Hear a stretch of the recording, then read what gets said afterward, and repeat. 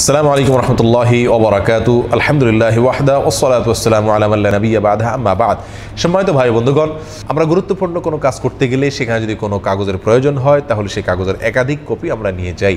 উদ্দেশ্য master copy বা মূল কপি যদি কোনো সমস্যা দেখা দেয়, তাহলে বিকল্প কপি দিয়ে যেন আমার কাজটি সেরে আসা যায়। ঠিক তেমনিভাবে আল্লাহ সুমাতালা যে সমস্ত ইবাদতের নির্দেশ আমাদেরকে করেছেন, সে সমস্ত ফর্জ ইবাদতের পাশাপাশি একই ইবাদতের নফল ফরমেটও আল্লাহ সুমাতালা রেখেছেন।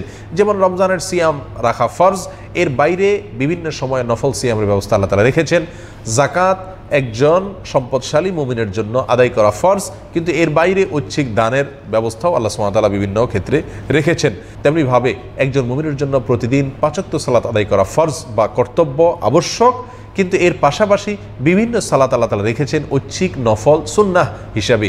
এগুলো ফরজের ঘাটতি পূরণ করার জন্য। কেমতের ময়দানে বান্দার যদি মূল সালাতে, অর্থাৎ ফরজ সালাতে যদি ঘাটতি দেখা দেয়, তো আল্লাহ সুমাতালা নফল দিয়ে তার ফরজের ঘাটতি পূরণ করবেন। সম্মানিত ভাই বন্ধুগণ, আর এই নফল সালাতের ভিতরে সবচেয়ে গুরুত্বপূর্ণ সালাত হলো তাহাজুদের সালাত। এই তাহাজুদের সালাত জান্নাতিদের আলামত কোনো লোক জান্নাতি হবে আর তাহাজুদ আদায় করবে না। এটা হতেই পারে না। এই জন্য আল্লাহ সুমাতালা সুরায় দারিয়াতে জান্নাতিদের কথা বলতে গিয়ে তাদের বিবরণ দিতে গিয়ে আল্লাহ সুমাতালা বলেন, কেন কালিল আমিনাল্লাইলি মাইহা যাউন তারা জীবদ্দশায় পৃথিবীতে যখন তারা বেঁচে ছিল, তারা রাতের অল্প অংশ ঘুমাতেন আর বাকি অংশ এবাদত বন্দিগিতে কাটাতেন।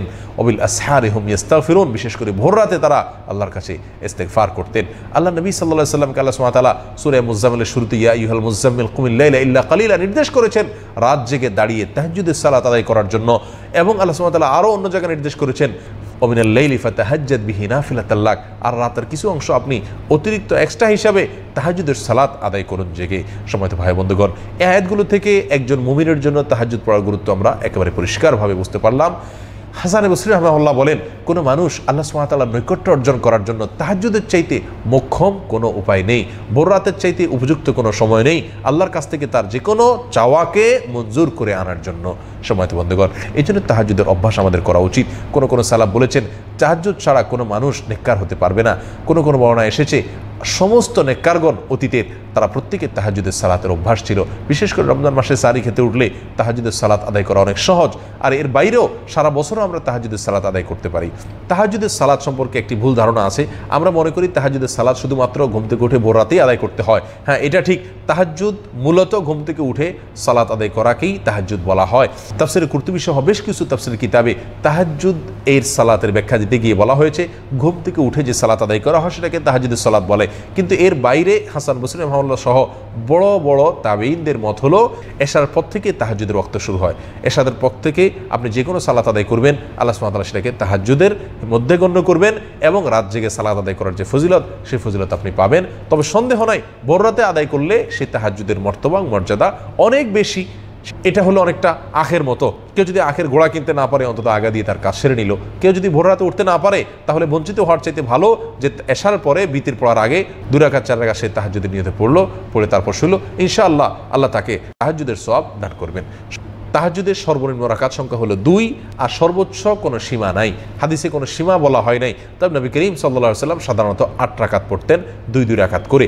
এবং তিনি হাদিসের ভিতরে বলেছেন সলাতুল্লাইলি মাহনা মাহনা রাতের নামাজ হলো দুই রাকাত দুই রাকাত করে। অতএব দুই রাকাত পরপর পর সালাম ফিরে যত ইচ্ছা পড়বেন আপনি। বিশেষ করে তাহাজুদের সালাতের পরিমাণ বাড়ানোর চাইতে গুরুত্বপূর্ণ হলো এটাকে দীর্ঘায়িত করা।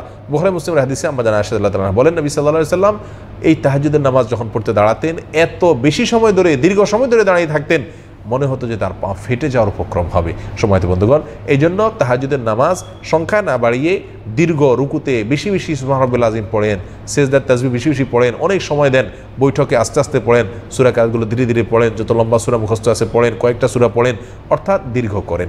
এটা হলো তাহাজুদের সবচাইতে উত্তম পদ্ধতি। বিশেষ কোনো নির্দিষ্ট সুরা নাই যে এই সুরা পড়তে হবে, বরং যে কোনো সুরা আপনি সুরা ফাতেহার সাথে মিলিয়ে পড়তে পারেন। সাধারণ নামাজের মতোই দুই দুরাকাত করে আপনি পড়তে পারেন। আল্লাহ সুমতাল আমাদের সকলকে তাহাজুদের নামাজকে সহিভাবে সুন্দরভাবে বেশি বেশি আদায় করার তফিক দান করুন।